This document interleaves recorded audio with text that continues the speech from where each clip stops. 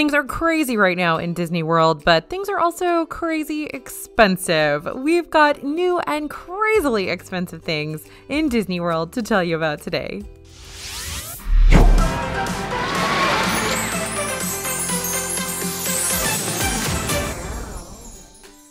Hey everybody, it's AJ for Disney Food Blog. Now, one constant that will likely always remain true of Disney World open or closed is that it's mega expensive. We already know if you plan a trip to Disney World, you're going to be shelling out some serious cash to make it happen, but once you're in the parks, you can still find some items that hit you with major sticker shock. We thought we'd have a little fun today and take a look at nine new items in Disney that are shockingly expensive. First up, those crazy ears, the Heidi Klum ears and the Blondes ears. The past year has been full of Disney's designer ears, and these ears all typically were designed by a company or artist tied to Disney, like Imagineer Kevin Rafferty's latest ears for the debut of Mickey and Minnie's Runaway Railway, and several others. Now, these typically have slightly higher price point than your standard. They're $75, $50 Definitely more than your off the rack ears you'd find in any gift shop. But a few of these designer ears were released with some crazy high price tags just for a pair of ears. The first break the bank ears we saw were designed by model Heidi Klum. These were your typical Minnie ears. Oh, except they were covered with a massive tiara and dangling earrings covered in Swarovski crystals. These ears were limited to 500 pairs and sold for, brace yourself, $600 a piece. No, you heard us right, 600. You could get a ticket to Disney World for a week at Christmas for the same price as one pair of ears with limited wearability. I mean, don't get me wrong, these make a sweet accessory when you're grocery shopping, but likely most people won't have much use for these, even to wear in the parks due to their weight. Pulling ourselves off the floor, after processing that massive price tag, we can tell you that Ms. Klum's ears weren't the only pricey ears to come out.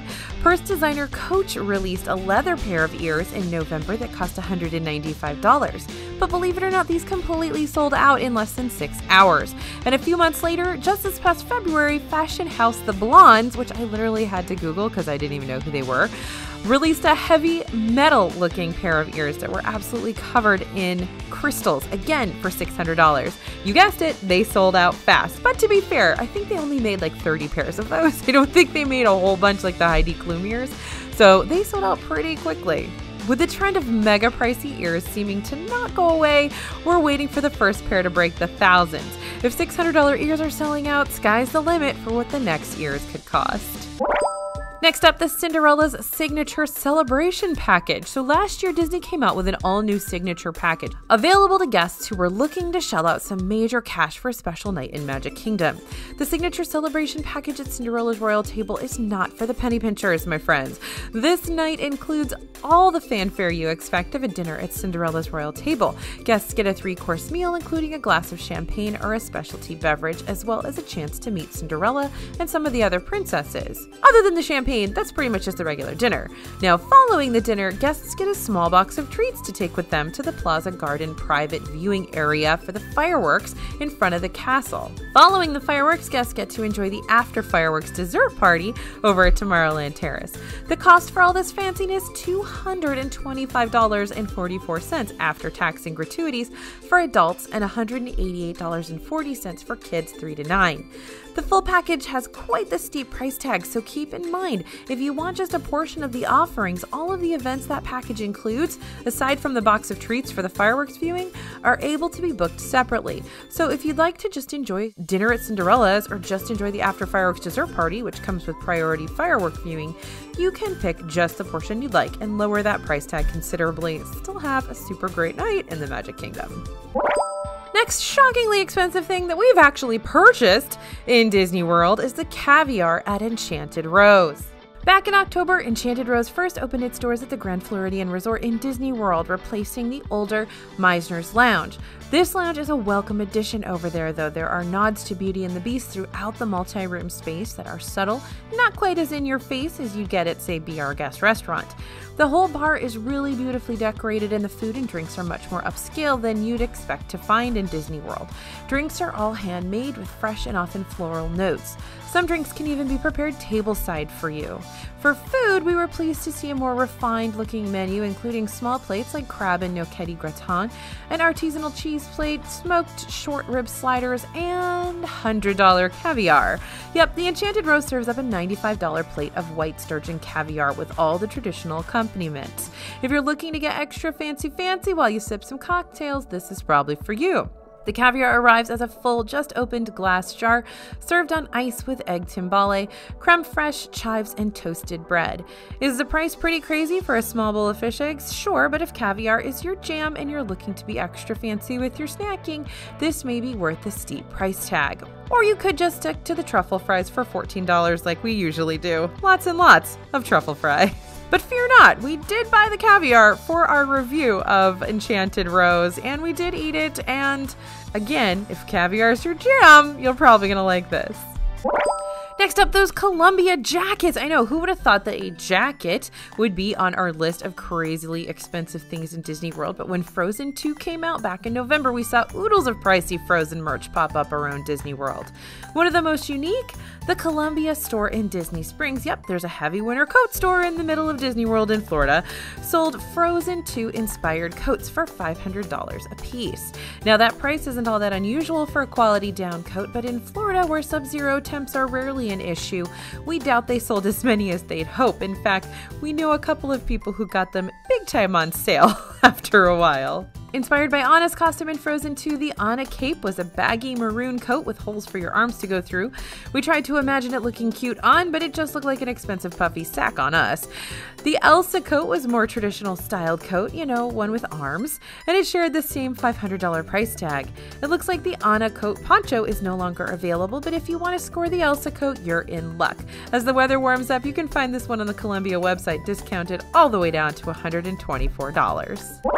Speaking of Frozen 2, if the Frozen 2 coats weren't pricey enough for you and you still need a Frozen fix, brace yourself for the price of this next item. When Frozen 2 was released, Ever After Jewelry Company and Disney Springs started to carry a Frozen inspired line by Roberto Coin. The jewelry is gorgeous, and one that caught our eye in particular was an amethyst, tourmaline, and diamond white gold necklace that matched the one worn by Elsa in the beginning of the film. The price tag? Oh, just $4,400. If you want the matching earrings, that'll be an additional $5,500.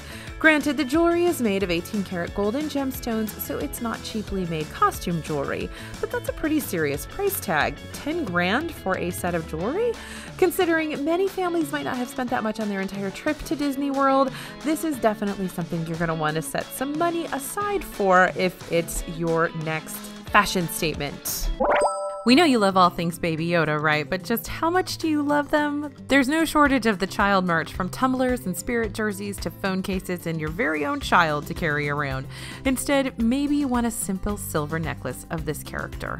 Well, my friends, that's going to set you back $135. That's right, the sterling silver necklace comes with a 24 inch silver curb chain and a small Baby Yoda pendant and it's from Rock Love Jewelry. It's currently in pre order.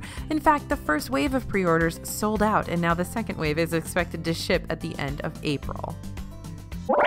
Next Star Wars pricey event we want to share with you is that Rancor flight. When Galaxy's Edge opened this past August in Disney World, we braced ourselves for some major hits to our wallet. We knew building a lightsaber over at Savi's wouldn't come cheap, 200 bucks plus tax, and building a droid was going to set us back $100 for a piece of plastic. But there were a few items we did not expect to have so many dollar signs attached to them. First up is over in Oga's Cantina. We love this location for the pumped up energy inside and the unique and sometimes weird drinks they serve, but one of the more tame drink options, beer, came with a pretty costly souvenir. You can pick up a Rancor Tooth beer flight for 85 bucks. For that price, you'll get a small sample of each of the four beers on tap at Oga's, served in hollow Rancor tooth ceramic cups, served on a large ceramic tray with holes for the teeth in it. The souvenir is cool and quite large, so if you're a massive Star Wars fan, this could be worth the cost for you.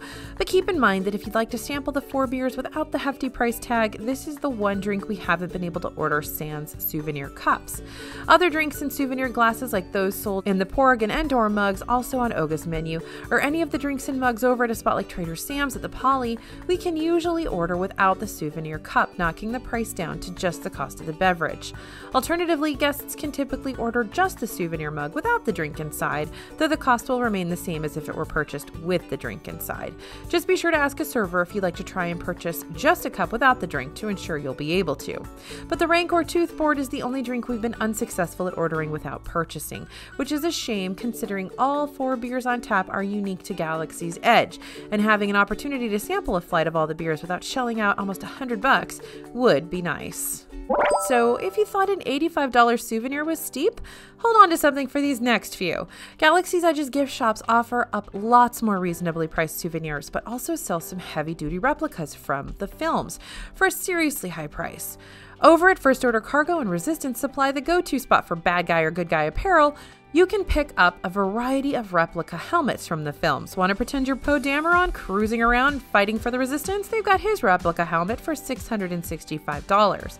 Or maybe you want to channel your inner bad guy. You can score a Kylo Ren helmet for $750, or a Stormtrooper helmet for a much more affordable $400. But if you're really looking to drop some cash in Galaxy's Edge, consider going all in on a full Stormtrooper costume. At First Order Cargo, for $6,615, you can be the proud owner of an 18 piece First Order Stormtrooper costume. This is one item we'd highly suggest you take advantage of having sent back to your resort or even shipped home when you check out. I'm guessing hauling around a full suit of Stormtrooper armor is pretty unwieldy on a hot Florida summer's day. I don't think you're allowed to wear it in Galaxy's Edge. If you do decide to live your best Stormtrooper life, remember you can't don the costume in the parks, and sorry guys, all sales are final. No returns or exchanges, so make sure it fits before you leave the store. Finally, here's something if we had that kind of cash we would totally buy. It's our buddy R2D2. If close to 7 grand for a Stormtrooper costume isn't rich enough for your blood, then head to the Droid Depot, where for the low, low price of $25,000, you can be the proud owner of your very own full sized R Unit Astromech droid. This isn't an off the shelf R2D2, though you could make yours into R2 if you choose to. Nope, this is a customized droid designed just for you. Think of it like the droids most folks build at Droid Depot for $100, but like way more intense than that. If you choose to spend as much as many folks' cars on this ask a cast member at Droid Depot to assist you. They can help you pick the colors and styling of your R Unit droid. Decide if he or she will be fresh faced and shiny or all grungy and beat up looking. For the steep price tag, you'll get a full size droid with an aluminum head that lights up, rotates, and makes sounds, a wireless remote control, and a charger. This is about as close to a real droid as you'll get right now. This is a film quality interactive prop. If you choose to buy one, remember that like the Stormtrooper armor, sales are final, no returning this guy. Once you place your custom order, it can take up to 90 days for your bundle of joy to be created and delivered to your home. Sorry, can't walk out of Galaxy's Edge with your new best robot friend. Think nobody could ever possibly be buying these? Think again. In Disneyland, three were sold the first week Galaxy's Edge was open alone. That's some Star Wars fans with pretty deep pockets. So we hope that helped you laugh a little bit, bring a little positivity and interest into your life while you're in quarantine. Thank you guys for listening and thanks for watching. As always, this is AJ for Disney Food Blog, and we'll see you real soon.